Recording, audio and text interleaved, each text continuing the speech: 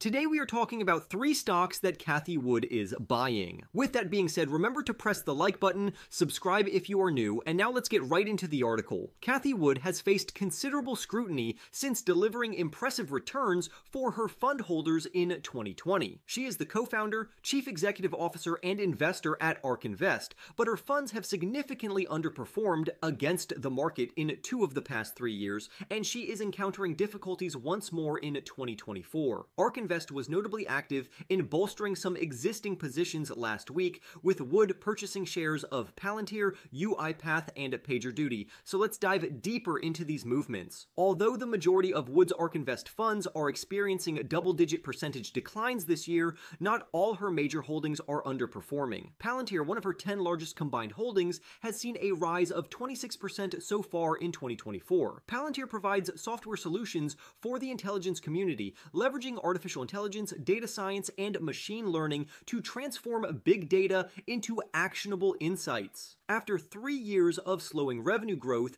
Palantir has reported accelerating top line gains for three consecutive quarters. Despite this positive trend, the market reacted negatively to Palantir's first quarter results last month, causing shares to decline. Although the stock is outperforming the market this year, it was trading 60% higher year to date at its peak in spring. Investors were displeased with the guidance provided, but even a 22% revenue growth, as indicated by the midpoint of its outlook, outlook is far from dismal. This would mark Palantir's fourth consecutive period of accelerating year over year growth, although the company anticipates a slowdown in top line gains in the latter half of 2024. Currently, Palantir is attracting investors with its positioning as an artificial intelligence play while diversifying beyond its primary role as a government contractor. Domestic commercial revenue surged by 40% in the latest quarter, approximately double the growth rate of the rest of its business. But that's not all, because on Thursday, Wood made significant purchases of UiPath as the stock plummeted 34%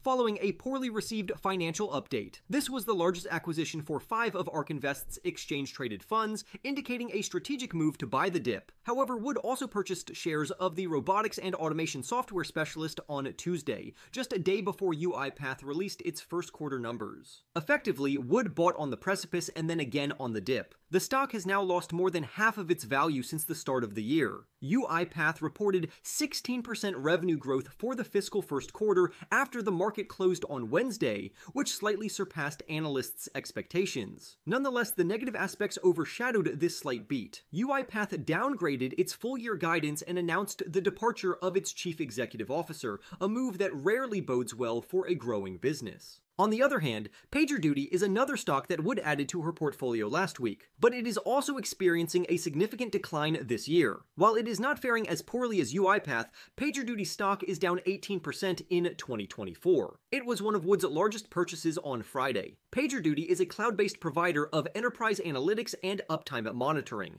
However, the business is experiencing a slowdown. The 16% revenue growth it posted for its fiscal year that ended in January was half of the growth rate seen in each of the two previous years. The deceleration is even more pronounced on a quarterly basis, including the latest update on Thursday. On a positive note, analysts predict that PagerDuty's revenue growth will accelerate later this year, and the company has consistently posted double digit percentage beats on the bottom line over the past year. Unlike Palantir and UiPath, PagerDuty's shares rose on Friday following the latest financial update, indicating that Wood is not exclusively buying on market dips. In summary, despite facing challenges in recent years, Cathie Wood continues to make strategic investments, particularly in Palantir UiPath and PagerDuty. Palantir is benefiting from its artificial intelligence capabilities and diversification efforts, while UiPath and PagerDuty are grappling with declines, albeit with some optimistic outlooks for the future.